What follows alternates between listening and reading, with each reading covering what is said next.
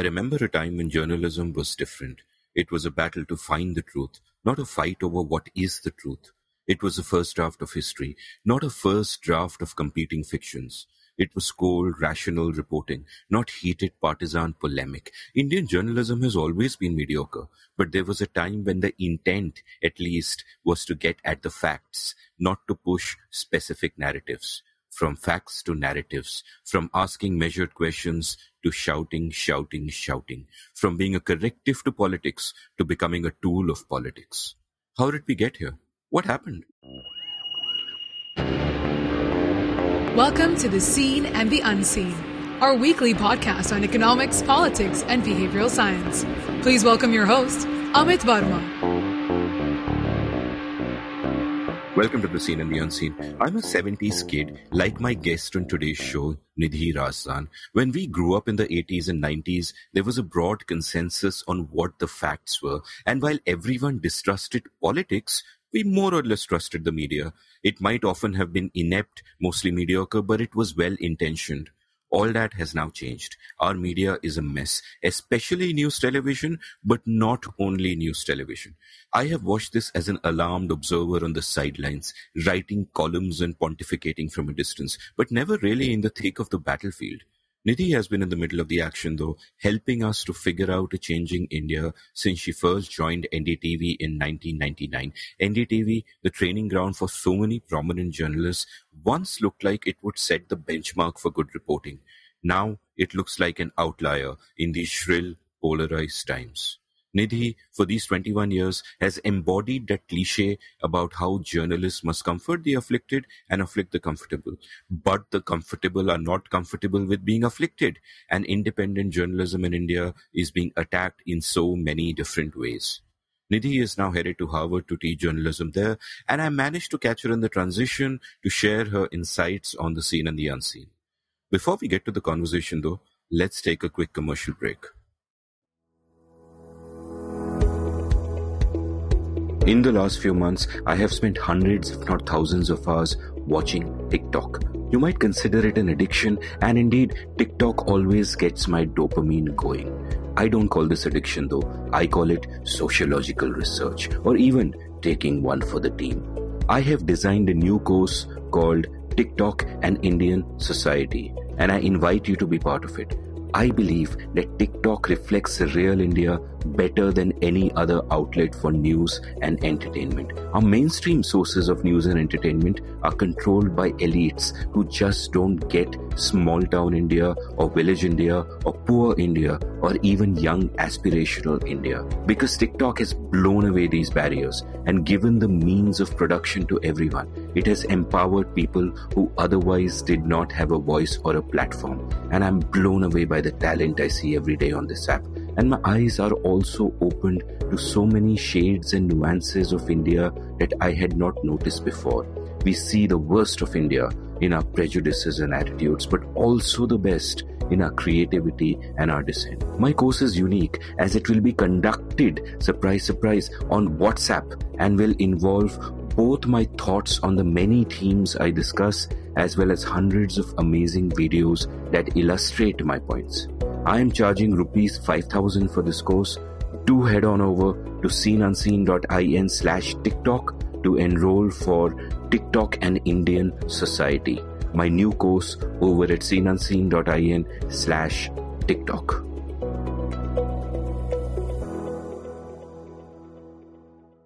Nidhi, welcome to the Seen and the Unseen. Thanks so much for having me, Amit.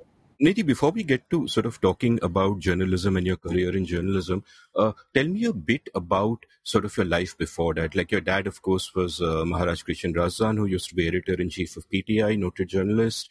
Uh, you know, you grew up across the world in uh, London and in New York. And I read somewhere that you wanted to be a doctor when you were a kid, not a journalist. So, you know, tell me a bit about that. What were your sort of formative influences like, and why did you decide to turn to journalism? So yeah, that doctor thing is funny because, uh, well, first, like all children, I wanted to be an astronaut, and that pretty much died by the time I turned twelve because I realized I didn't like flying very much. So outer space was really out of my league.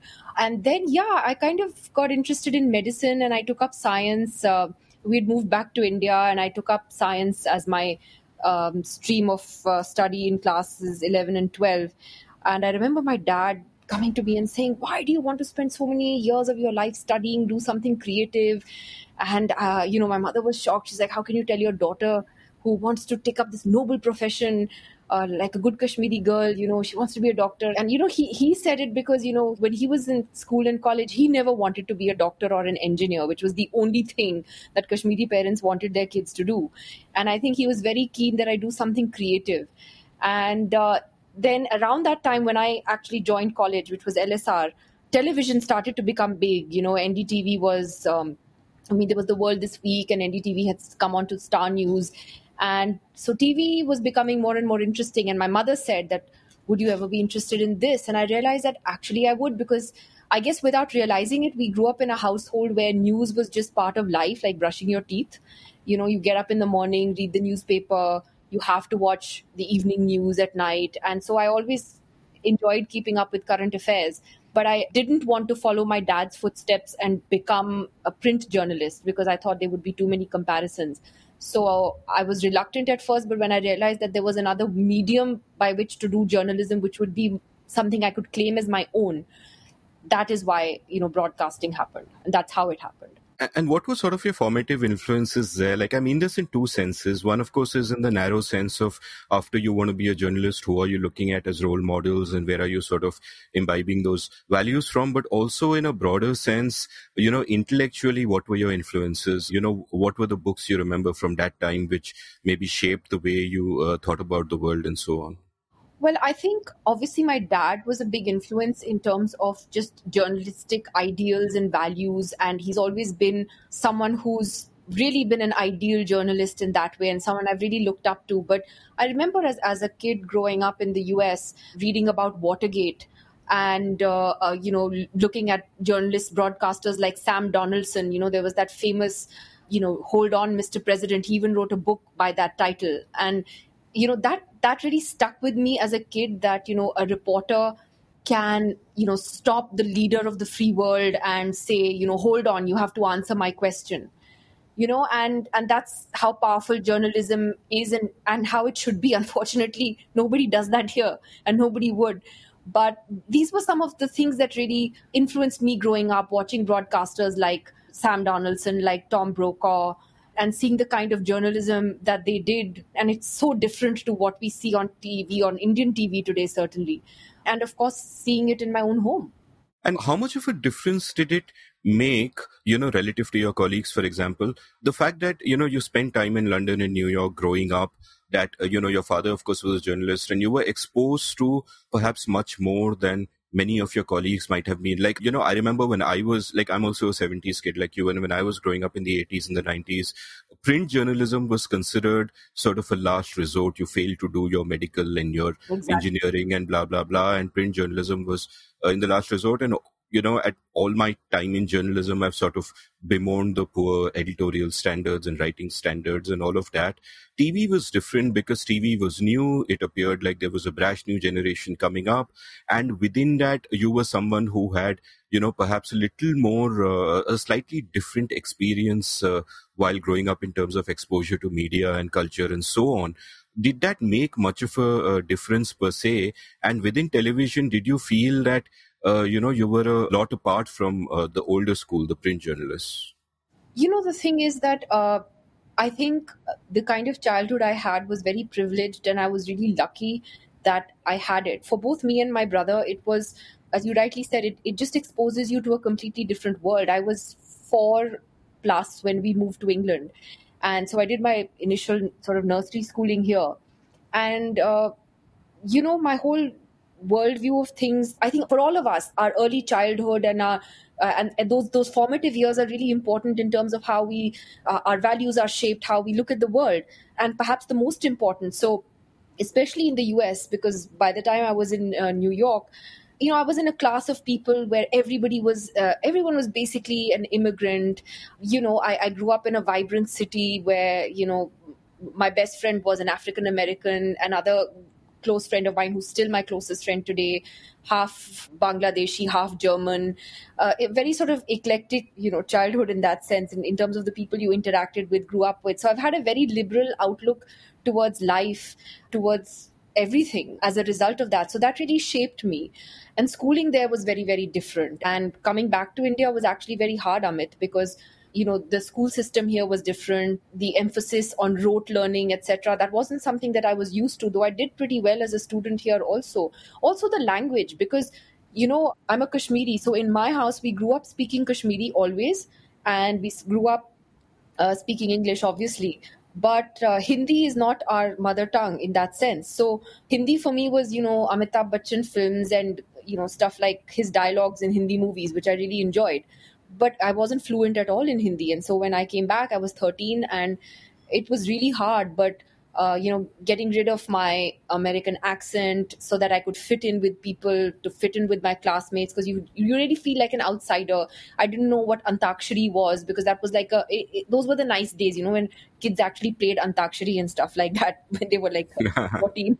so you know, like I, I didn't know all those Hindi songs. I watched Hindi movies, but because I wasn't comfortable with the language. But I'm proud of the fact that when I did decide to take that plunge into TV and all of that, you know, when I, I was in college and I would read the Navbharat Times every Sunday out loud with a Hindi English dictionary next to me because I knew that if I have to be a broadcaster, if I have to be a journalist, period, in this country, I have to know Hindi. And I have to know it well enough to be able to communicate on air and I did it. And I anchored. I, w- I have been a bilingual anchor and reporter all these years. I anchored on our Hindi channel for many years. I've anchored the US elections with Pankaj Pachauri in Hindi, with Vikram Chandra in Hindi. I've anchored the budget in Hindi. And I'm really, really proud that I was able to do that because this it wasn't easy. It wasn't the language that sort of came naturally. Yeah, and, and you know, they often say of cricketers when they play a beautiful shot that, oh, he makes it look so easy. And I think one can have the sort of the same impression about news anchors not realizing the sort of hard work that uh, uh, goes in behind the scenes. I'm just thinking aloud. I was, you know, when you mentioned how your cosmopolitan background and, you know, being in a school in New York that had, I mean, which is basically a city of immigrants, shaped your outlook to the world. And just thinking aloud, I'm therefore wondering that how true would you say from all your experiences of meeting people throughout uh, the last 20 something years, which is such a core part of your job. How true is it, would you say, that people are often shaped by their circumstances, that their ideology can come out of what they have been exposed to? And are there, for example, the other thought that sort of strikes me is that despite the Kashmiri Pandit background, you don't sort of have the resentments that many Kashmiri Pandits do for, you know, understandable reasons in their case. What are your thoughts on this? Well, I agree with that. I, I do think the circumstances we are exposed to shape who we are. And for instance, on the Kashmiri Pandit question, I'll tell you something. I mean, I think it's because, you know, my, my, it's not that my family wasn't affected by it. It was my grandparents had to leave with their bags packed overnight and flee. And uh, my father and my mother would always tell my brother and me that, look, we shouldn't blame entire communities for what happened. My father still has a very romantic notion of how he grew up in Kashmir, and he truly believes. I know a lot of Kashmiri pundits don't, and they get they get angry when when some of us say this, but he truly believes in that idea of Kashmiriyat. That his best friends growing up were Muslims, and whenever we would visit Kashmir every year, we would always go to Kheer Bhavani, which is our most revered temple there. But on the way back, we would also go to Hazrat Bal Mosque, to the shrine and offer prayers there as well. And my parents would always say, my dad in particular, that, you know, this is who we are, this is how we must respect all religions. And that, yes, a lot of things happened during the Pandit Exodus, which have made people angry and bitter for understandable reasons. But that, you know, the Muslim community has also suffered, that we cannot tarnish an entire community, etc. So I've grown up with those values. And I guess I don't blame those uh, from my community who have actually borne the brunt of that exodus and the kind of atrocities that happened with them and their families. Obviously, you know, uh, they are they are shaped by that anger. They are shaped by that very deep and real pain that they went through. So I don't think that I can sit in judgment on you know how they feel.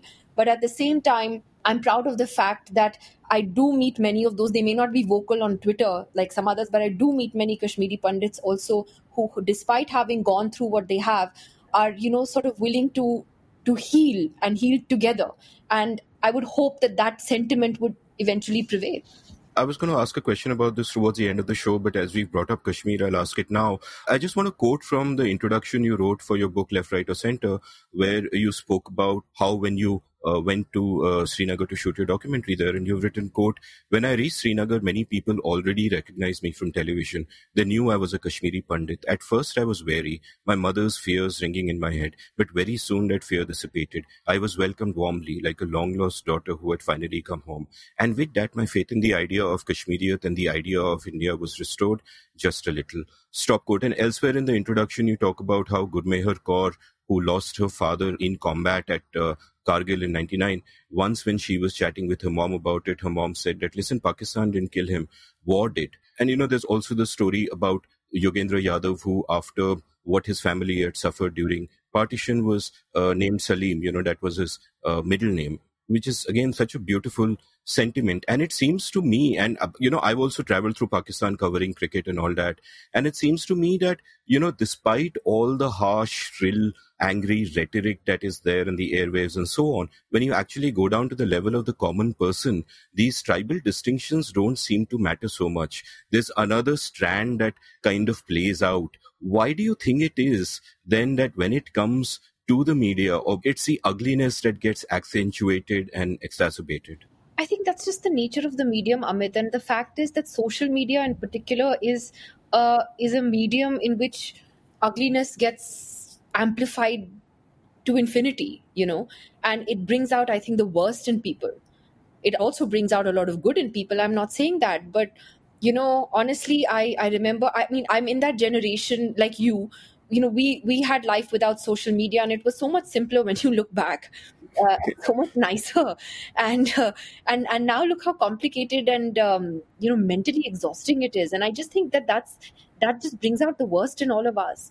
And i agree with you. I mean like when you actually talk to people on the ground the sentiments will be very different from what the establishment uh, you, you, know will actually do. Pakistan is, is a prime example of that. I have friends who are pakistanis very good people and who are brave enough to take on the isi and their own army very publicly journalists in particular. In fact i think their media is far more free frankly and brave than ours. And that's another story. But you know even in kashmir my own experiences have been like that. But uh, you know i mean social media tends to reduce everything to these dangerous binaries which in itself is another conversation. Yeah, and we'll come to that a little later. Let's go to your early days in television in the 90s, which is, of course, before social media. And, you know, sort of as a viewer watching the evolution of television, I remember it from the early days when Prannoy Roy did The World This Week, which was, you know, this one hour weekly thing we all used to look forward to on the only channel we had. And uh, then, uh, you know, I remember the video news magazine Newstrack used to come out, and there was such a leisurely pace to everything.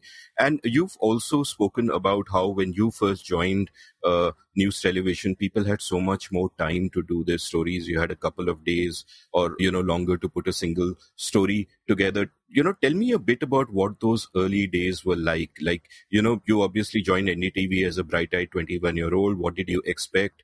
what did you find was different what did you learn in those early years before things started changing in the 2000s you know it was so different i joined in 1999 and those were like the golden days of television and i've seen i've seen the whole transition from that into what has happened now which is both sad and you know strange but the early days were incredible because there was a lot of idealism. There was not that kind of cutthroat competition from other news channels.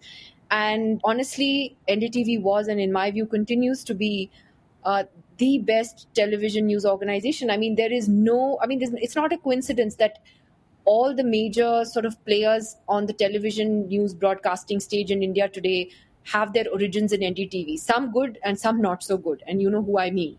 So, but, you know, their basic training, they all came from the NDTV stable by and large, you know. So it was incredible because this was an organization at that time that was you know we had money we had resources we had the platform. You know you could spend days traveling for a story. Like i said earlier as you pointed out you would spend time on that story. There was a whole series we used to do for many years actually called india matters where all of us would take turns every month. For one week in a month we'd be assigned to india matters where we traveled into rural india and sort of uncovering india invisible going beyond the regular politics, the day to day stuff that happened in Delhi. and you know you had the budgets for that you know. I remember when i joined i spent just two three weeks in orientation which was great. I mean you know you you're actually being taught now there is no time for this orientation. Our new reporters who come come they train for a few days and bam you know you're out in the field because there's no time. But uh, those were different days you know you you were leisurely taught about how editing is done camera work is done etc and you know i i walked into prannoy's room one day and i said um, can i go to tibet? I want to do a documentary there. And pranoy was like yeah of course you should apply for a visa. I did. And i got a visa like a year later and i went. So you know um, i can't do that now. Nobody can because there ain't no money for that kind of stuff now. But you know, I, one day I went in. You know, I said I, would like to go to Iran, and uh, if I get an interview with the foreign minister, can I stay back for a week and do a documentary? Of course, you can. I went. I did that, and uh, you know, shot there for like seven, eight days. That was an adventure. You know, came back, put it on air. So I think I mean, those were really the golden days, like I said, and that's of course linked to the financial health of an organization, among other things. And over time, uh, you know, things for the media as a whole have become much more difficult, and we know we know that. Yeah, and we'll discuss sort of the transitional points, but uh, I have a newbie question, which is that even then, you know, uh, NDTV was, of course, a 24 hour channel. Uh, so what gave you guys, you know, the luxury to sort of take so much time and do so much thoughtful work and do, do the sort of stuff that you did with, uh, you know, uncovering India and so on? Did you have more people? Was it just more budgets? Was the news structured differently? What was so different? It was structured differently also, Amit, because you didn't have bulletins like every hour. You know, you had them, I remember, alternate hours, and then the flagship bulletin was your nine o'clock. You, um, had more people, you had more budgets, so you could actually spare a bunch of reporters to be doing something completely different. Somebody on an investigation for Star News Sunday, which was uh, like you know your long format magazine show on Sundays. Uh, you had people you could spare for India Matters, which was a completely different team altogether. So it's all those things together which which made it possible to and because you didn't have that sort of some other channel breathing down your neck uh, and those kind of rivalries, you could actually. I mean, I, I spent three days doing a rainwater harvesting story for God's sake. I was damn proud of, you know. But that was a new thing then, you know. And uh, I was like, uh, you know, I, I, showcased what rainwater harvesting was about. Um, I think one of my, I think the first story I did a PTC for, if I'm not mistaken, was uh, about condom vending machines in government offices, which was super awkward to shoot because of people that I had to interview. But I spent two days on that. I didn't have to like, I didn't have to rush into it and do it in two hours, you know. So, uh, I mean, like nowadays, there's no question, yaar. Even I would tell a reporter, yaar, it's a दो घंटे की story है, जल्दी कर ले. What do you need? Some bites and, you know, some shots and लगा दो. So none of that then you know, there was a very nice feature on Jon Stewart in the New York Times, and uh, I'll quote from something he said which struck a chord, where he said, quote, 24-hour news networks are built for one thing, and that's 9-11. There are very few events that would justify being covered 24 hours a day, seven days a week. So in the absence of urgency, they have to create it. You create urgency through conflict. Stop quote. And, uh, you know, as this sort of process started playing out, how did it affect you? Was it sort of frustrating because then the pressure on the channel becomes to amplify every damn little thing that you cover, which means that, you know, one, everything is shallow because you're spending less time on it. And two, you can't go deep into, you know, areas which may not be of interest to mass viewers like rainwater harvesting, I presume. How was that process like in coming to terms with it? I completely agree with what Jon Stewart has said there. And that is part of the problem that, well, uh, two things. In india frankly unfortunately for whatever reason you don't even have to manufacture urgent news because there's always something happening.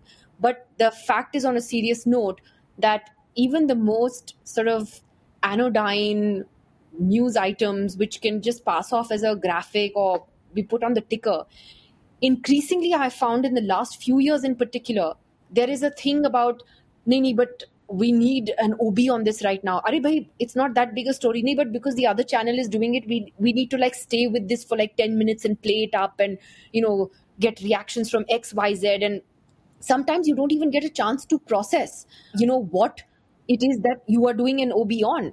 You know, like one day I was suddenly asked to anchor on an RBI press conference. And I actually I said no because I said I am not an expert on the RBI. And let's not pretend that anchors know everything. My expertise is in politics and foreign policy. You want me to you know come on and do something on that? I'd be happy to because that's what i've done my entire life. But i'm not suddenly going to be an expert on the repo rate which frankly i need to read about and understand. I, am not going to pretend i know anything about it. So we're in that age amit right now where everything is like is is big you know? And for me personally that is part of the reason why i became extremely tired of it. You know in the last few years while i love television and i've actually walked away from television from the best prime time slot that one could have. I mean you know some people say that i mean what else do you want? Great executive editor nine o'clock slot. It's not that. It's just that the nature of the medium now just doesn't let you breathe anymore you know? And you're just it's just constant. There is i mean your brain just doesn't stop working it's exhausting it really is. And television has just become like this competitive thing to put your senior anchors on air for everything. Every small thing is now a big thing. So I think that's you know something we all need to reflect on, but that's the way it is now with so many news channels out there. And I once did an episode with Ashok Malik where he gave me an interesting insight onto this race to the bottom, where he said that, you know, when you have channels paying such enormous license fees to just get into the business, you know, the pressure to recoup is immense. So they have no choice but to sort of chase TRPs in this uh, uh, sort of frenetic race and then everybody gets caught up in that and there's no getting out. You know do you think structural reasons are like that are part of the problem that because uh, entry barriers are so high once you get in you cannot really chase a niche and you know do whatever you you know do rainwater harvesting stories for example? Well why not? I mean it it did work for us. It's not that i mean ndtv is india's most trusted news brand repeatedly for a reason so I think it's not that it didn't work. And look, these BARC TRPs, frankly, are TRPs that NDTV has challenged all the time. They don't make any sense. If you if you look at how our shows do on YouTube, for instance, or even Tata Sky, the numbers are completely different from what BARC puts out. So there's so much. I mean, NDTV has gone public with this about the kind of manipulation that happens, you know, with ratings. Uh, so I do think that at least there used to be a space for this, and I'd like to believe that there is you know still space for it although sometimes one gets so disheartened that even during something like this coronavirus pandemic when tv viewership has jumped immensely across the board because people were in lockdown they were at home people wanted information if your BARC ratings are still reflecting that republican Times now are your leading news channels, then I begin to wonder the choices that people are making. You know, and is this what they wanted to see? Because those channels were not giving you information. They were still doing Tablighi Jamaat 24 hours a day and is that what people want to see? So i said you know a lot of these numbers don't make sense to me just because of how they just don't add up. You know they, they actually don't add up. If you just look at online and how we're doing online and how we're doing on bar uh, so i don't know. I, I still think there is space for this kind of good journalism. And and that's why ndtv will not become tabloid. It is not going to be tabloid. It's not been easy for us. But uh, ndtv would never take the sort of times now route we're just genetically completely different. And one of the shifts I've noticed over the past two decades, exacerbated by social media, but uh, you know, it began even before that, was that you know, when we were growing up in the 80s and 90s, there was a broad consensus on the truth. There wasn't a dispute about what is actually happening. You know, your different media outlets may chase different angles or have different opinions on something, but you know, the, the everyone kind of agreed on what the facts were. What has now happened is one that people get their information from many more sources media itself is so fragmented and you know there is no longer that consensus on the truth people have their ideologies or their visions of the world and whatever and they just want information that uh, sort of confirms that and we all get sucked into these echo chambers which get shriller and shriller as you know you compete to um, sort of express your own virtue within your selected echo chamber. And it seems to me that, you know, then you begin to wonder what is this news thing? Is it just a battle of competing narratives that do facts even matter anymore? And, and, you know, barring, uh, you know, small islands of excellence like um, NDTV and a handful of online independent sites, not the mainstream media, uh, it seems to me that everything else is about, uh, you know, this pitch battle of narratives. How does that sort of make you feel? I mean, I understand that NDTV TV's had its core values and stuck to them throughout. But more and more in these times, it seems like an outlier.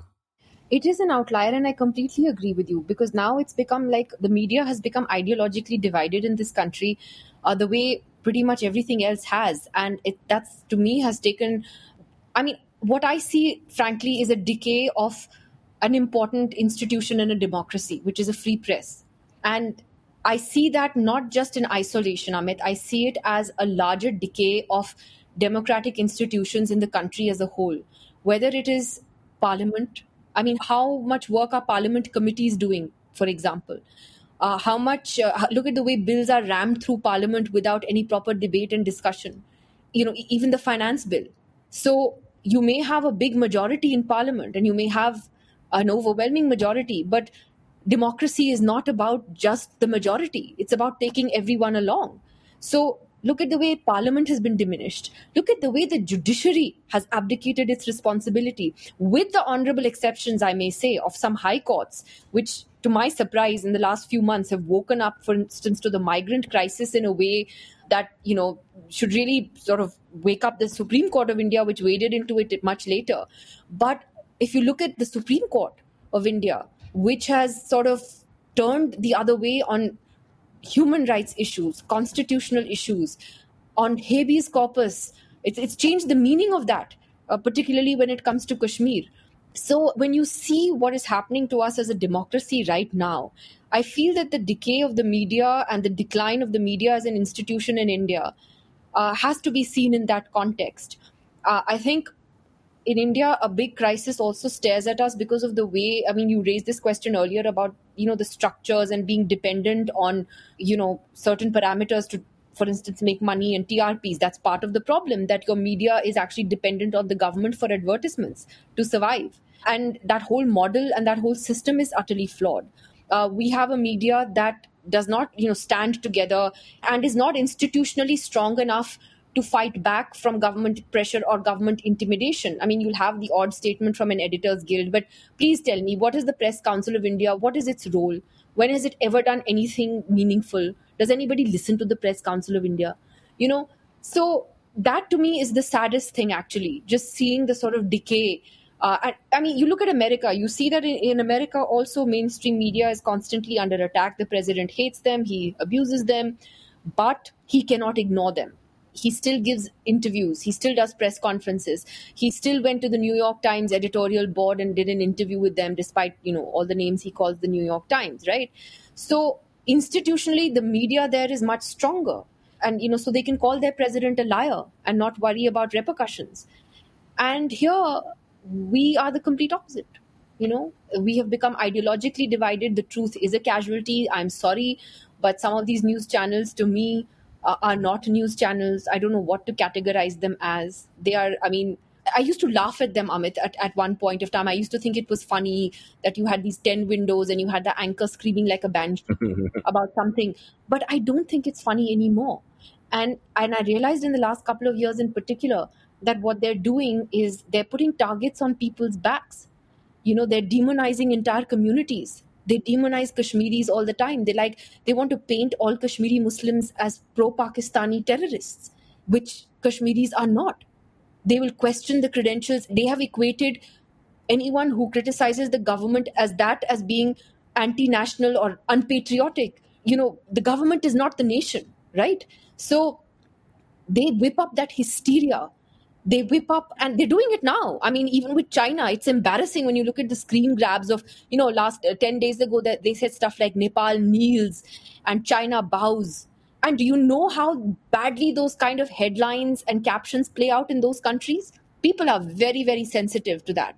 You know nepalese friends have called and said how anger angry and and and sort of uh, hurt they are seeing those kind of captions. Look what nepal did to you you know, and, and China bows and, you know, stuff like that. I mean, I think they're doing far, far more harm than we we realize to to our social fabric, not just to journalism, but to, to society. And I think it's it's really it's just dangerous now. It's it's not funny anymore. You know, since you mentioned Nepal, this anecdote came to mind about this pitched battle that took place, I think, in the late 30s or 1940s when people were discussing what shape an independent India could take, which was then in the future, of course. And Mahatma Gandhi said something to the effect of the Nizam of Hyderabad could be the new ruler, at which Veer Savarkar took offense and said, no, we must be a Hindu kingdom. The king of Nepal should be the king of India. and contrast that with where we are. You know, I'm just thinking of the sort of contrast that you've seen. Like in one of your interviews, you quoted your dad as telling you, quote, don't editorialize and get all your facts right. Check with more than one source.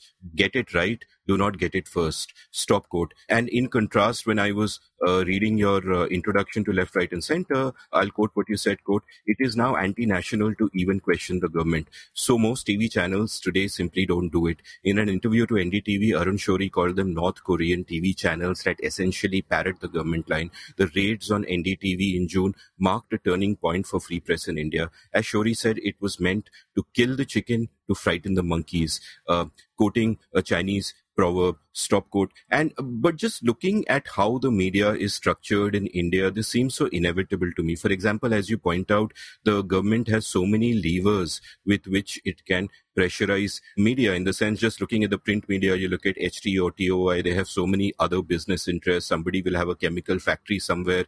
There can be an IT raid there. Similarly so much of media runs basically on money coerced from us. Uh, you know it uh, it runs on government advertisements and and the government uses that to basically uh, buy the media and use it as a lever to uh, pressurize the media and uh, similarly, you also, besides the carrot, you also see the stick where, you know, cases of sedition are filed on uh, journalists. And there is a sort of a chilling effect in play as well. You know, NDTV itself, of course, has taken a lot of pressure. There was a campaign to get advertisers to quit um, NDTV, uh, and uh, you know there have been uh, income tax raids and all of that. You know, so just looking at this, I mean, do you think there's and, and the only sites that really survive are small online sites which are not dependent on all of this, like uh, you know the very brave people at Alt News and The Wire and Scroll and so on. But beyond that, you know, do you think and, and but they are just below the radar mostly. That's kind of why. But uh, you know, is that sort of one of the reasons that uh, you're you're kind of glad to be getting? I mean, are you glad to be just getting out of this? Are you thinking to yourself right now, not my circus, not my monkey?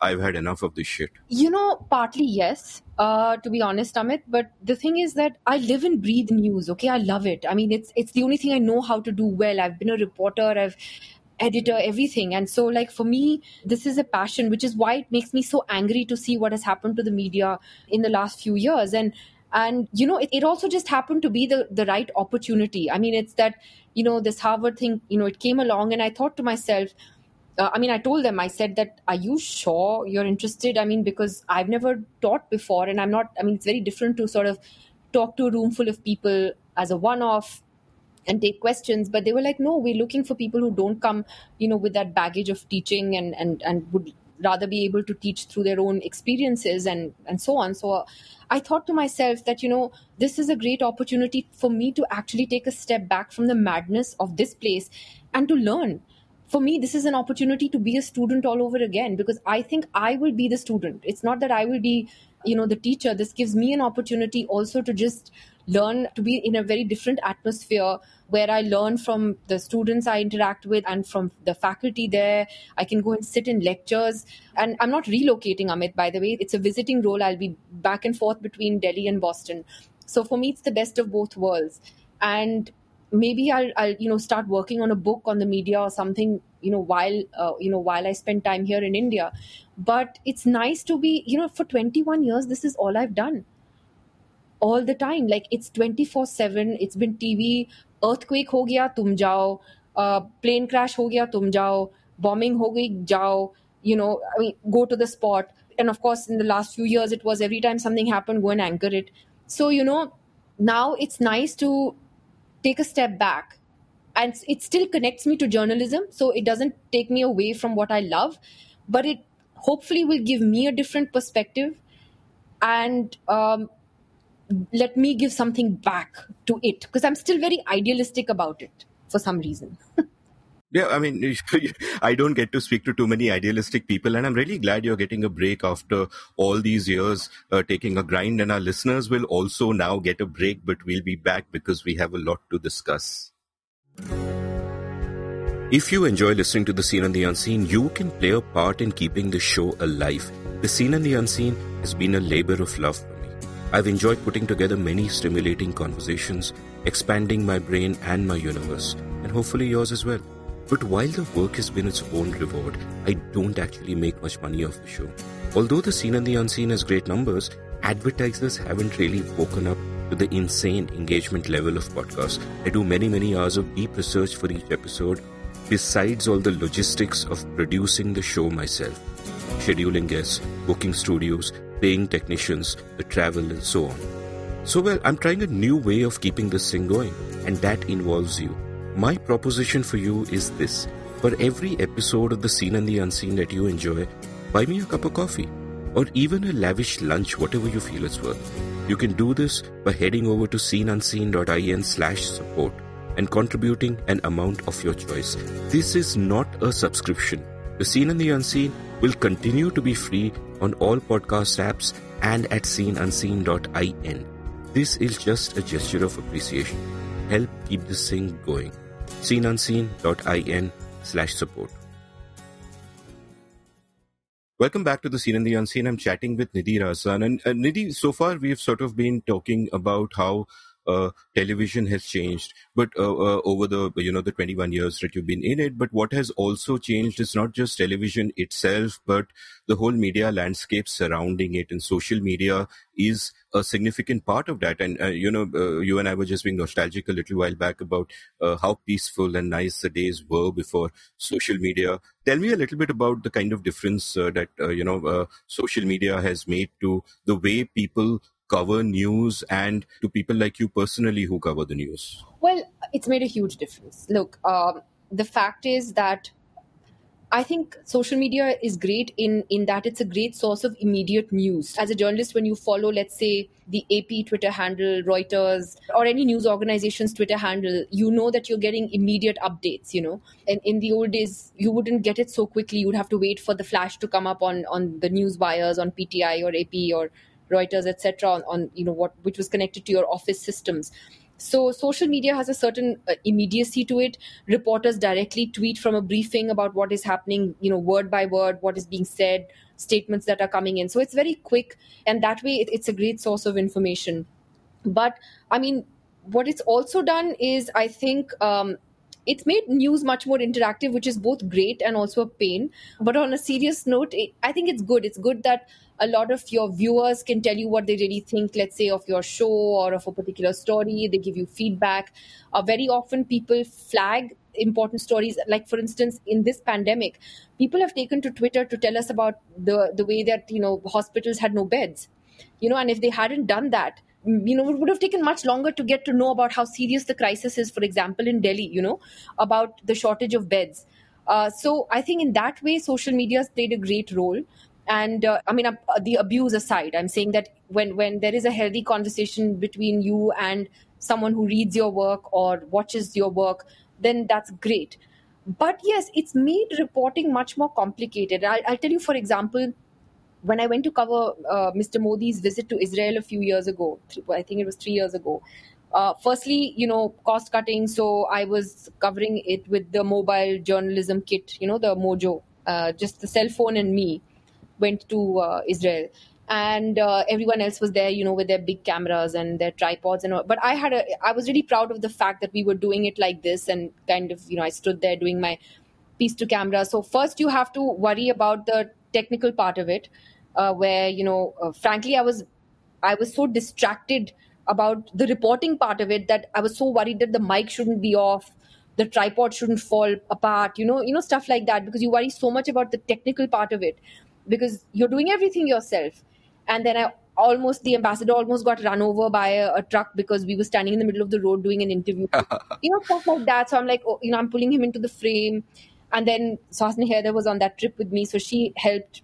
You know, then because the entire TV media went after Baby Moshe, who's not baby anymore. So you know, I need to hold the phone for me while I chased his family down and said, "Would you would you speak to us?" And you know, at least she was there to help. So it wasn't easy. But then on that trip, I realized we we just started doing uh, you know Facebook Live also, which I didn't know what the hell that was until it happened. because now I'm going and doing these stories about the Indian community in Israel and whatever. And so, in addition to doing my television story, I had to first put out a web copy. Now, everything is on the web first. And then I have to do a Facebook Live. Okay, so I was like, ye kya hai? And then I had to do that also. And then you have to do your television uh, OBs also, you know, and, and, and then deal with the technology and the technical issues and failures and all of that. So it's not easy and that's what reporting is like on a day to day basis for a lot of young people today. You know, you are doing digital, you are handling your social media accounts. A lot of them are having to do YouTube stuff separately. And then you have the pressures from television. So, and plus you have to make sure you're actually getting your story right. So there's a lot of pressure on reporters today. And I have to say very honestly, Amit, it was much more fun way back then. You know, I, I personally think so that it was much more fun when one had the time and the and the space to be able to think about what, what one had to write and do i still love the rush of hard news but just sometimes it's just overwhelming. And i hats off to these kids you know who who sort of manage everything so eh, seemingly effortlessly but it really really is not easy. Because you know even the physical demands of the job as you know are are very real. I mean look at these reporters who've been out or reporting on the migrant crisis or just the state of or of the pandemic in general. And then you juggle all these things together social media included it's not easy. And you know now you know when you do it you don't just anchor a show then you have to identify clips to put out on social media. By what will catch the audience's eye? Uh, you know what are the things that you can sort of extract and make a headline so that it, it gets viral on twitter it becomes viral on twitter because now that is also important. Although one good thing I'm really uh, about NDTV in particular is that we, we, don't do the whole hashtag thing except on election day, which is elections with NDTV. So there's no like uh, you know hashtag like Rahul Gandhi get a haircut, you know, something like that. you know what I mean? Like, you know, or, or what is that Times Now favorite hashtag? Lobby.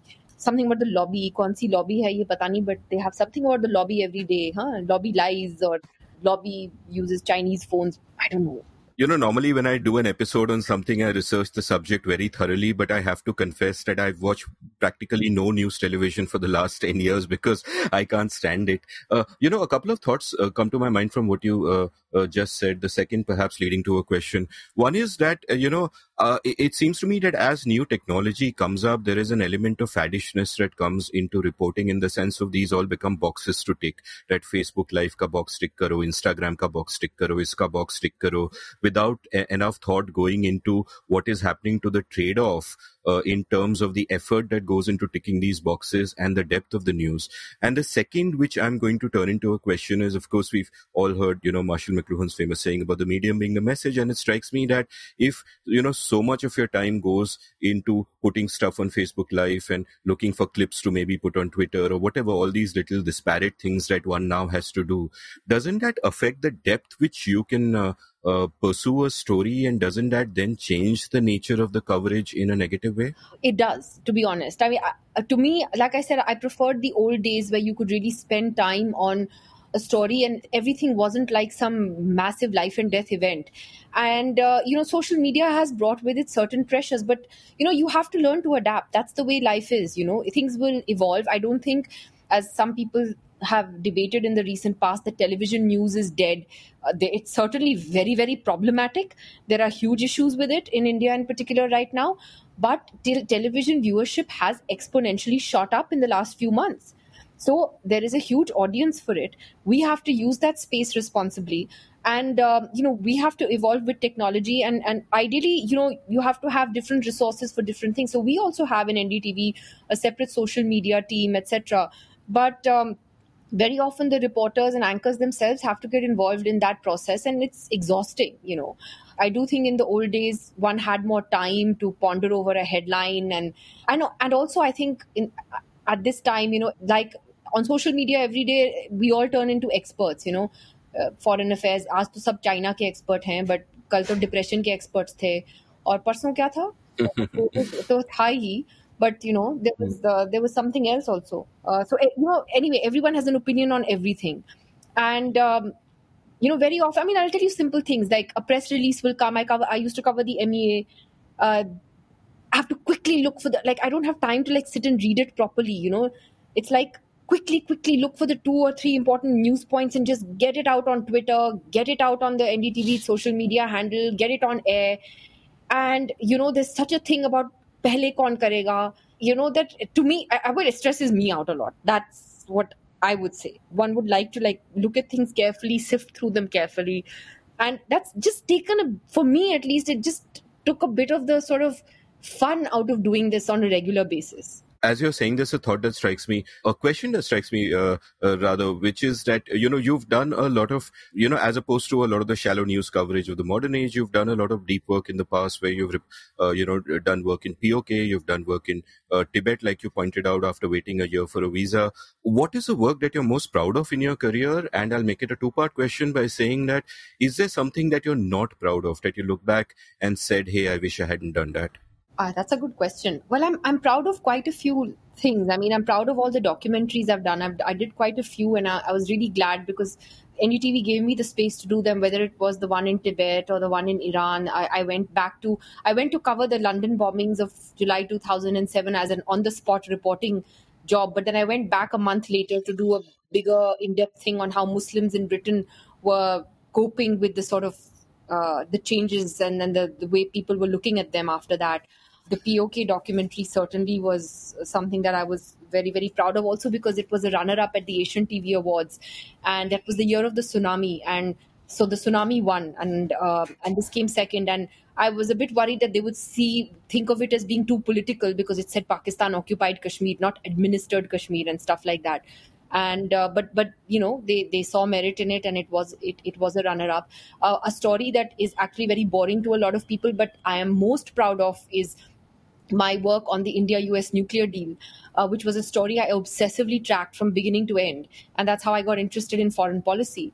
And uh, that was a very, very difficult story to do because it's very technical. It can be very, you know, um, technical and sort of very dense. And, you know, to break that down for TV viewers every single day and to make it interesting. And then it became one of the biggest political stories of our time. You know, Manmohan Singh's government also f- nearly fell because of it. It didn't, but it could have. You know, there was a confidence vote in parliament on it. So it just became like this this amazing story to track from beginning to end. Is there something I wish I shouldn't have done or that I'm not proud of? Um, I don't know. There's nothing I can think of offhand, Amit.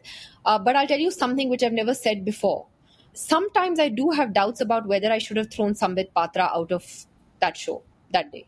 For those of us who don't know what you're talking about, what are you referring to? There was then, oh, you don't know this? Are you serious? I don't watch much news television. I'm really sorry about this. so I think, I don't know, was it maybe three years ago or two years ago? Uh, Sambit Patra was on my show and started shouting at uh, at us on air and saying that NDTV has an agenda and you know ascribing motives to us and I told him to leave. I said that if uh, I'm sorry that I will not accept this accusation, and if you don't want to be on this channel, then go. And you know, if you're not if you're not going to apologize, then leave. And and I shut his mic down. I mean, it's it's really a, an infamous incident to to be honest. And a lot of people were. I mean, the Roys were very happy. I mean, everybody was. The whole organization stood by me for doing that because every day, you know, you had BJP spokies sort of making digs at us all the time, questioning our sort of uh, credibility, etc. And um, we got raided by the CBI. I think Prannoy got raided by the CBI like two, three days later, which was a coincidence, but many people sought to draw links to it. uh, but uh, that's you know, uh, and then the BJP stopped coming on NDTV completely, and that stands to this day. Uh, officially, they do not come on NDTV.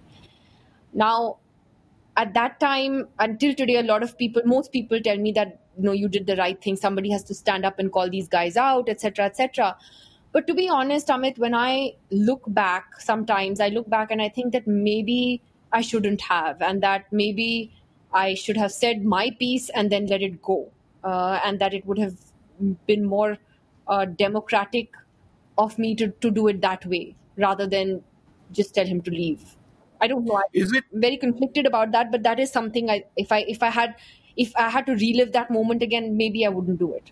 Tell me something for someone who feels as strongly about values and issues and indeed the health of our democracy as you clearly do. Is that sort of like I can imagine myself losing my temper in a similar way? Uh, and I remember reading about the incident now that you described it. But is that sort of emotional control hard? For example, when you're, uh, let's say you're covering Kathua and there are people who are sort of uh, defending the rapists, or there are people who are defending garlanding the lynchers, for example, both issues on which, uh, uh, you know, you've sort of spoken out. Then at that moment, does, uh, you know, on the one hand, you're supposed to be this objective anchor and you're sort of, you have to be calm and ask sharp probing questions. But on the other hand how can the blood not rush to your head? How do you deal with that? How have you faced that conflict down see in my opinion there is absolutely no obligation to be uh, quote unquote objective when you're anchoring what is meant to be an opinion based show. It's fine. Because like newspapers have editorial pages right? So these nine o'clock bulletins can be the editorial pages of your channel in, in that sense. It's it's perfectly okay to take a position on something. I'm, I do not have a problem with that, but I do have a problem with um, when you know uh, you know to me there are certain things which are inalienable truths, right? And there are certain stories that do not have another side. So, for example, politicians coming out in doing rallies in defense of rape accused and murder accused, like in the Kathua case. To me, that was indefensible. There was no other side to the story. To me, when somebody is lynched and killed, there is no other side to the story. It's wrong. Okay? So I think, yes, I mean, I think we're all human. We will get emotional. I think it's a question of, I think it's perfectly okay to be emotional also.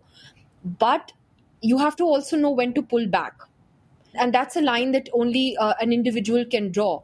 I have to admit that some of the stories that have disturbed me the most in the last few years have been these stories. It has been depressing actually. And i've found myself often coming close to tears when one has had to have a, a discussion on akhlaq or, or, or, one of these horrific incidents that happened all these years. And you actually have someone sitting in front of you trying to defend the garlanding of lynching accused or why the tricolor was draped on the men who were accused of killing Akhlaq. You know, and, and you just, I mean, you know, a lot of people would sometimes criticize us and say that why do you call, for instance, um, why do you call RSS spokespersons on the channel? And I would say, and I still say this, that I'm sorry, but whether you like it or not, they are ruling the country right now. You know, they have been elected by the people and they represent what the government of India thinks at the moment.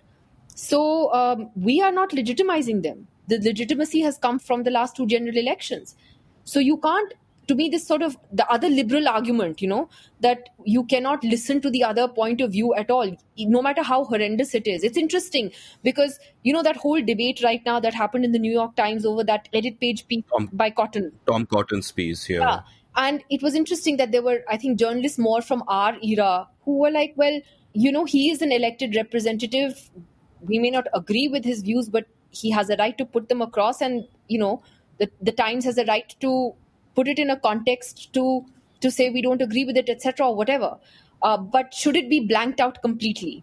You know so i i am conflicted on that question also right now. But the fact is that I also feel it's important to confront people with who have those views and pin them down on that, and and sort of, shall we say, shame them for some of the kind of open bigotry and hatred that they profess. And I don't think there's anything wrong with that. Like like the hate speeches that some of these guys made during um, the Delhi elections. I had a confrontation with some of the MPs. You can't just ignore them. They're members of parliament, for God's sake it's not about giving someone a platform, but they are MPs, they've been elected, they're going to stand up in parliament and say stuff. They need to be held accountable for the kind of hate speech uh, that, that they're spewing. And I think we need to do that. I couldn't agree with you more. It is, after all, our job to afflict the comfortable. So, sort of, you know, when you're speaking of politician guests on your show, a couple of thoughts come to mind. One is, of course, you, uh, you know, you've been doing the show Left, Right, and Center, which is sort of a debate show between different points of view. So, um, it's a two-part question. Part one is that given that people are inevitably going to take their party line. And even if they are not from a particular party, they are inevitably going to sort of take the line of whatever ideology or identity uh, they've chosen for themselves. Uh, don't all these debates become so predictable that you broadly know in advance what everyone is going to say? That's part one of the question. And part two is that then behind the scenes, all of these people do what they do. I think the incentives of politics makes politicians be behave in venal and reprehensible ways. But outside of that political framework, have you found not just politicians, but generally people in public life to be different from what their public personas are? Like, would you say that a politician you cannot agree with on uh, issues can also turn out to be a nice guy and a good person and there are these uh, you know other sides to them that you get to know. Yeah, yeah absolutely. I mean you see that all the time. And yes you're partly right about you know these political debates in a sense becoming very sort of predictable. But i want to say something here. I want to say that why why is it that we in this country which is the world's largest democracy which is has, which has this thriving political scene why are we so averse? What is, why is the word politicization a bad word it, it shouldn't be. In my view, every major issue should be politicized. And people, as citizens, as voters, should be listening to what representatives are saying on those issues so that they can make up their minds on what side they are on on particular issues so for instance when people would say during the nirbhaya gang rape time are bhai don't politicize uh, you know the, the sexual violence against women why not i mean i have been saying this for the longest time that you, you uh, the problem is we haven't politicized these issues. We, we need to hold our publicly elected representatives accountable uh, for the fact that women don't feel safe while walking on the street or that uh, you know convictions are abysmally low etc we need to politicize these issues and i at least would want to hear what each political party has to say about it. So similarly even on foreign policy and security issues just because it's the Congress or an opposition party raising it, it doesn't mean that it's wrong. I think there are legitimate questions that you know need to be. For instance, you know now it's become sort of again anti-national to to question anything about the armed forces or to question any intelligence gaps or intelligence failures. I mean, to me, it is actually patriotic to raise those questions. Not just now, but I'm talking about even earlier during the UPA time. That you know you need to ask, you know, why lapses happen. For instance, look at what's happening in China and Ladakh at the moment. You had a clear situation where you had a section of the media that was just trying to project a narrative of all is well, kuch nahi hua, it is a very small incident. Look at the way it has blown up, the lack of transparency, the lack of information that's coming out. And I think the opposition, while standing by the country and standing by the government, is well within its rights to say, boss, you know, we need answers also on why this happened and how this happened, and please give us those answers. So I don't think that there's anything wrong with that. I think it's the way that those debates are structured. The problem, Amit, is that you know that that they are, of course, completely in, in these these shrill shouting matches. You can have perfectly good conversations even debates if you want to call them that with people on different ideological from different ideologies sitting together different political parties that can be perfectly civil and yet disagree with one another, where you don't have to be screaming at each other all the time. You know, but much of what's happening on Indian television today is contrived. It is you call the fringe. You know, you, you decide that some guy in a long beard represents all Muslims in India. He does not. Or you decide that some guy wearing a saffron robe represents all Hindus in India. He does not right so you just you know kind of pit uh, two uh, religions against each other you start screaming in between and that's why it's been reduced to a farce. And in my experience, I've given this example often. I actually found that if you do debates well and you have a good conversation on important issues, it does make people sit up and think. For example, when the gang rape happened in Delhi, it was the first time I saw mainstream news television night after night on prime time talking about sexual violence against women. And it forced the print media to make it a page one story as well. And i i'm not joking. I think i did a prime time show on that story like every day for the next like maybe 2 months you know and it made a huge difference because at least people were talking about it. People were i mean people came out and they they were agitated and that was to me that that's good that in a democracy that that people were demanding accountability. I mean not in the way that it turned out. Ultimately it just became about a hanging and not a bigger debate as it should have been about safety about about the judiciary speeding up cases and convictions and all. But that apart, I'm just saying that just even having that awareness to have that conversation, it became really important. So I think on China, for example, it is important to hear the opposition's voice. So I don't understand this thing of thoo-thooing, you know, what uh, political parties think. We elect them. Let's hold them accountable. Let's listen to what they have to say. Exactly. Couldn't agree with you more. Let's let's kind of get back to social media because uh, for a moment there we just discussed the positive side and uh, one can't really end with that because one of the you know the dark side of social media is of course the enormous amount of vitriol that is spread, the rumors that is spread, the abuse that uh, you know people are constantly confronted with and all of it especially harder for a woman. So now you are on the one hand you're looking at social media closely for tips and new angles like this hospital has run out of bed or there are interesting points of view which you can take into account. But on the other hand there is also uh, so much ugliness and it cannot but help affect you when this uh, happens. You know the journalist kanika kohli had a thread I found quite moving on Twitter recently about how she was personally so affected when the IT troll farms came after her that she, you know, almost had an anxiety attack and had to kind of uh, go to the loo. Very moving thread. And, and, uh, you know, and all prominent women kind of go through that. How did you deal with that? It's not nice, Amit. It's not nice at all. And uh, I mean, I, I, really feel for Karnika because I understand how how she would have felt. It's, you know, the thing is that um, on on social media, on Twitter in particular. I don't know. I mean, it's sort of a free for all against women. They'll say that we respect women, and then you know they'll they'll they'll abuse you in the next sentence, and they somehow think that uh, talking about a woman's personal life or you know her her sex life or something is is somehow demeaning. I mean, it is it is extremely difficult as a woman to be on social media. I would agree with that. It's toxic, and frankly, I would not even be on Twitter if it wasn't for the fact that uh, people were, you know, sort of creating these fake accounts in my name and tweeting, and then people would message me on every day and say, "Oh, Acha, have you said this on Twitter?" And I would say, "No, that's not me."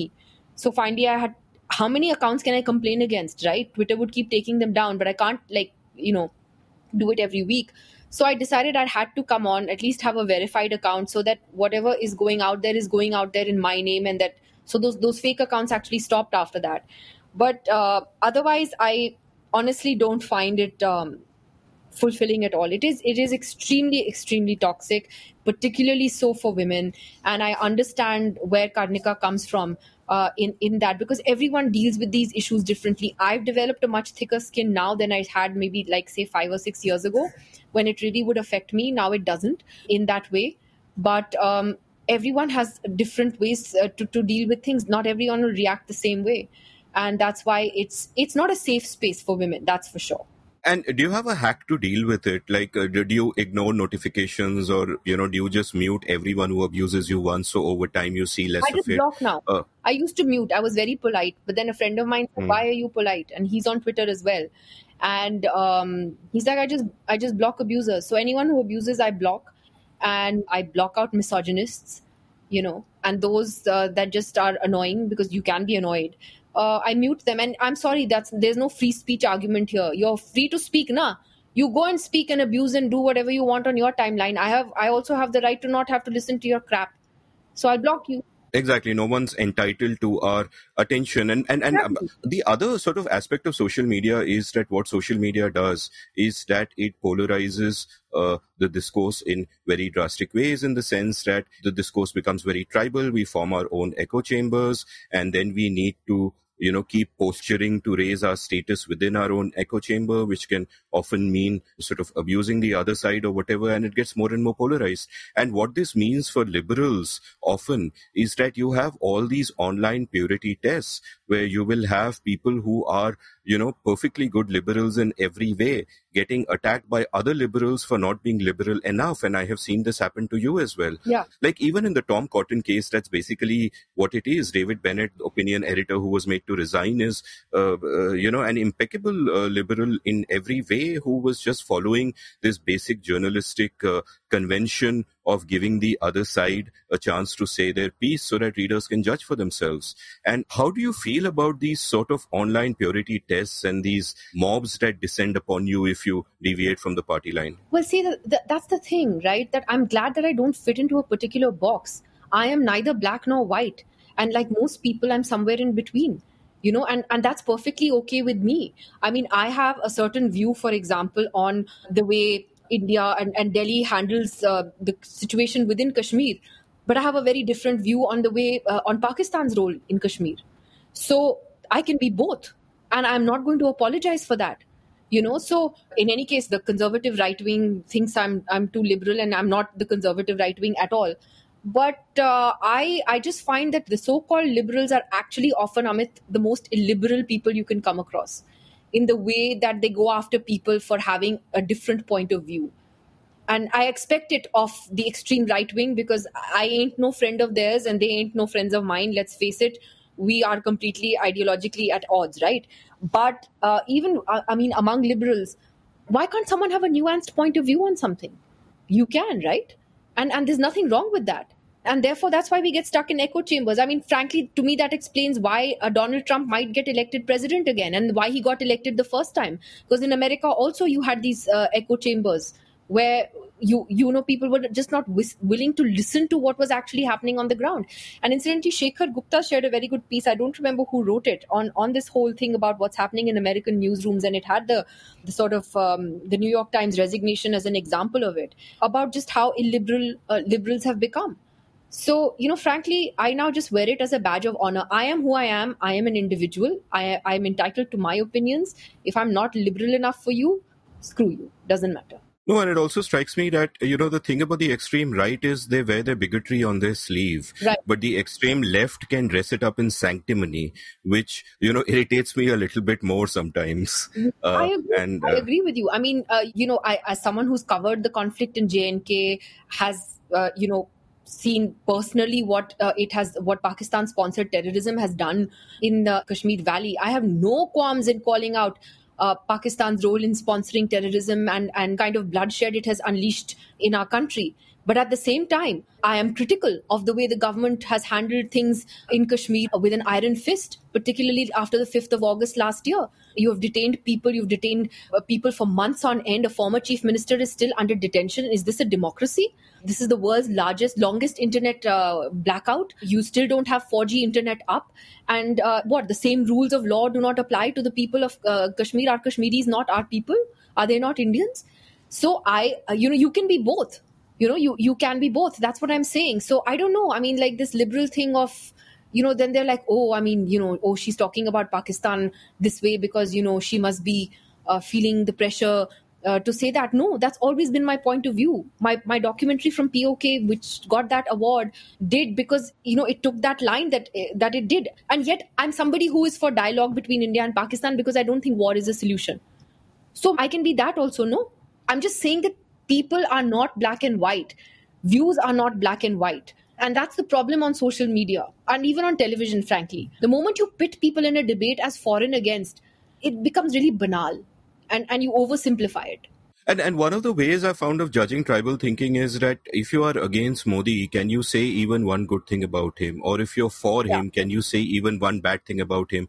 And the answer is often no. And then you know that in that case, that's just tribal thinking because everyone contains multitudes, and even the person you're against has done some good things, and even the person you're for has uh, flaws that you should be awake to you know, my next question is sort of, it kind of strikes me, and I'm again sort of thinking aloud here, that when I look back in the last 25 years or so, the one profession where I can see that women have visibly excelled and you know made an impression and become incredible role models is in TV journalism, and I'm I'm of course thinking of people like uh, you know you and Barkha, where uh, you know some of our finest uh, TV journalists are women. That's indisputable. And at the same time, like, does it sort of irritate you when you're covered not just as a great TV journalist, but as a TV journalist who's a woman? For example, I was searching online for articles in, of you and interviews of you, and I came across this piece which was headlined "No Skirting of Issues." Which within the piece had lines like, you know, uh, quote, the importance of dressing cannot be dismissed, stop quote. And then quote again, planning her outfit on a daily basis is one of the first things she probably does in the day. I, I don't even uh, remember that mortified. this, uh, this, this came in verve, you know, so I don't know what the journalist must have asked to get you to talk about your daily outfit planning. Uh, and I think you correctly put her in a place by saying that when I wake up, I'm thinking of stories and I just pick up the first clothes that come to mind. I think I remember this now. I think she was quite gutted because I actually honestly don't remember the last time I thought about what, what I had to wear. But yeah, that's that's a funny uh, thing that you reminded me about. Yeah, God. And does it become irritating when, you know, people will try to put you into a box and think of you as a woman journalist or a Kashmiri Pandit journalist and just look at you in that box? Does, does that kind, which you wouldn't do yourself as a journalist? I don't like the woman box, to be honest, because it's true. I mean, uh, look, mm. the fact is that, um, for, for women things are are generally much tougher in any profession. And you know i think it's great when women sort of become role models for other young women and their peers and you know are able to break certain glass ceilings. And i think that's what's great about ndtv in particular because i, I was telling someone yesterday who was talking to me about uh, you know my journey as a woman journalist and she was like i'm sure you faced biases. And i said actually i haven't. I mean because i've lived in this bubble in ndtv where most of our editors have been women our primetime anchors have been women. Gender was never a factor when an assignment was was given to you whether it was an earthquake or or a riot somewhere. Uh, of course you took care of basic safety but you know it, gender wasn't a factor. So apart from you know some sort of leery remarks by some people here and there when one one stepped outside that i'm glad that i was you know in this environment where it was really different but so i don't mind the woman part of it you know i i i'm okay with that.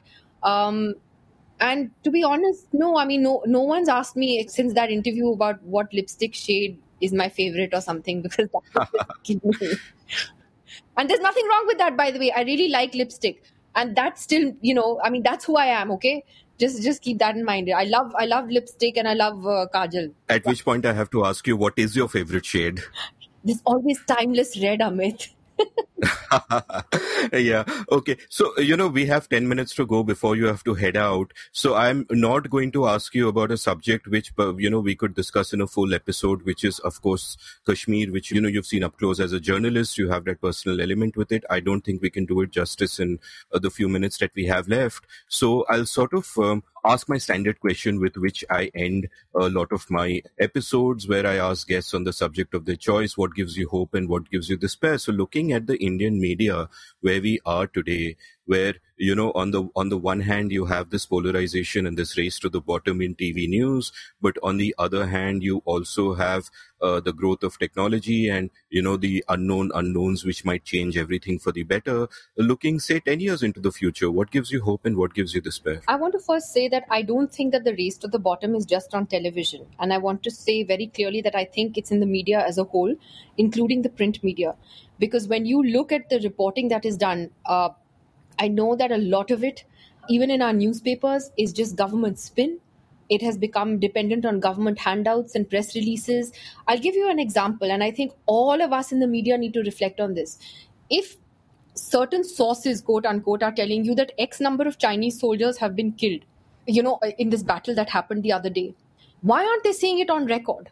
You know, this happened during Balakot as well, where suddenly uh, sources started appearing. And, and I knew who the source initially was, which is why people went with it. But to me, it's deeply problematic when the media is putting out unverified stuff and not demanding that the government go on record with certain things. So it has become, uh, uh, unfortunately, even in the print media, a lot of it is spin and press release journalism. I'm tired of reading pieces about why ex politician is sleeping only four hours a day. I'm tired of reading op eds, by the way, also by ministers and uh, you know only opposition leaders and you know with with no nuance at all so uh, you know print i think is has also gone down that road uh, to the bottom what gives me hope is those that do stand out despite the pressures uh, that are there which is as you mentioned Uh, there are some web portals that are doing a great job of that. I think there are still a couple of newspapers that are doing a good job, like the Indian Express uh, and the Hindu, with their flaws. NDTV, I'm not saying we're not, uh, and, and, NDTV is not flawed. There, there, are flaws with us also. But, uh, you know, we, we're all holding our heads above the water and doing the best that we can. And, uh, you know, the rest of them, frankly, they, they don't inspire much hope, but I do get hope from the rest of from the examples that stand out i mean that the fact that there are will, people who are willing to push back it, that gives me a lot of hope and in any case i don't like to despair so i think i'd, I'd rather be hopeful Thanks so much for coming on the show, Nidhi. I, I hope you have a good time at Harvard. And if you can, please put your course out as a MOOC so other people like me can also uh, sort of take it and learn from a distance. But in any case, all the best. And I'm very sure that we haven't heard the last of you. Thank you so much, Amit. No, I don't know how to keep quiet. So I think I'll be around. Thanks so much. It was nice talking to you. Ditto. Thank you so much. If you enjoyed listening to this episode, you can follow Nidhi on Twitter at Nidhi. You can follow me on Twitter at Amit Varma, A-M-I-T-V-A-R-M-A. And in case you haven't yet signed up for this exciting course I am teaching called TikTok and Indian Society, well, it begins on Wednesday, June 24th. So hop on over to seenunseen.in slash TikTok to check it out. Also, do check out my new weekly economics podcast co-hosted by Vivek Kaul called Econ Central. You'll find it at econcentral.in or in your podcast player of choice. You can browse past episodes of The Seen and the Unseen at seenunseen.in. Thank you for listening.